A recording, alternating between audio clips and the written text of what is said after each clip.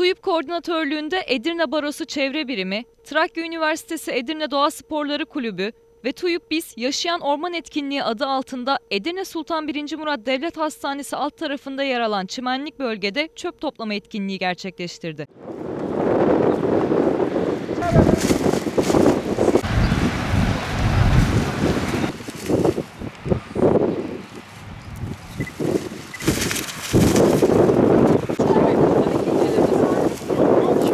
çevre 120 torba kadar toplanan çöpler arasında tencere, tava, plastik atık, evsel atık, inşaat atığı, çocuk bezi, küvet gibi atıklar olduğu belirtildi.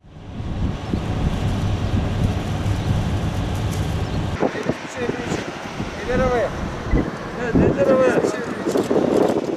TUYIP Başkanı Önder Aktaş çöp toplanan alanda Manisa lalesine rastladıklarını belirterek doğaya sahip çıkmazsak bu çeşitliliği kaybedeceğimizi söyledi. Manisa lalesi bu bölgede de görülen bir tür. Ama biz bugün bu plastik toplama etkinliğinde buna rastladık.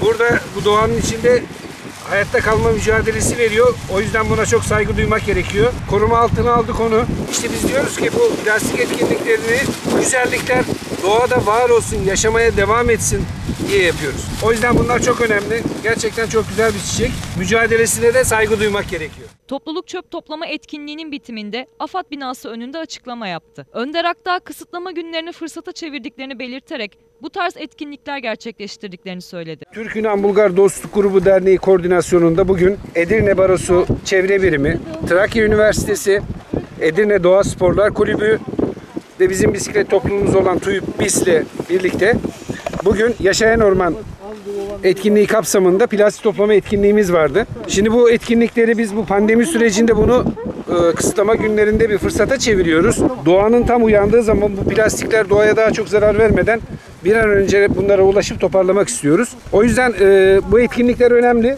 Evet bu etkinlikleri çok daha kalabalık, e, yüksek katılımla yapmamız mümkün fakat pandemiden dolayı mümkün mertebe az kişi sayısıyla e, bu organizasyonları gerçekleştiriyoruz. Biliyorsunuz maratonun teması bu sene çevre ve sıfır atık. Bu kapsamda da bu etkinlikleri yapıyoruz.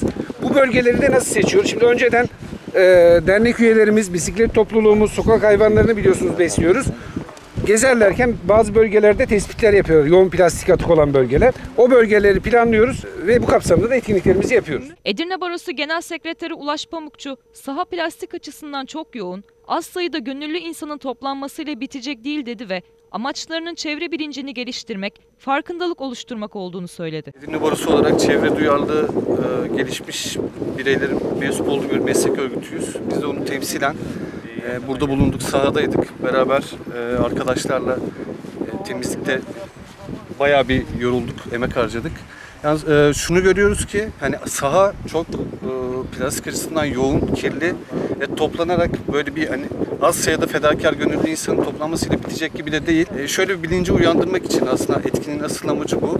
Yani plastiğin tüketimini olabildiğince azaltmak, bunu hayatımızda bir alışkanlık haline getirmek, bir refleks olmasını sağlamak. E, diğer yandan da işte o çevre bilincini oluşturarak en azından yani çöpleri derli toplu bir şekilde geri dönüşüme uygun bir haliyle evimizden çıkartmak. TUYIP BİS Bisiklet Koordinatörü Esra Bursalı, sahip olduğumuz bu güzelliği nasıl bu kadar hunharca katledebiliyoruz bilmiyorum dedi. Bisikletle gezerken bir yandan spor yapıyoruz, bir yandan da gördüğümüz manzaralara kahrola kahrola pedal çeviriyoruz. Mesela burada benim gördüğüm en enteresan şeyler inşaatçı kıyafetleriydi. Çok fazla e, plastiğin, terlik türevlerinin yanında en çok bulduğum şey kıyafetti. Daha ilginci de bütün bu çöpe rağmen direnen böyle yemyeşil bir alan alanın içerisinde sapsarı böyle çiçekler, papatyalar o kadar güzel bir boyut çıkıyor ki ortaya o pislikler alındıktan sonra.